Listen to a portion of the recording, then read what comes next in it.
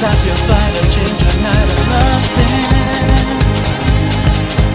Less than half Why won't you try to make this damage better?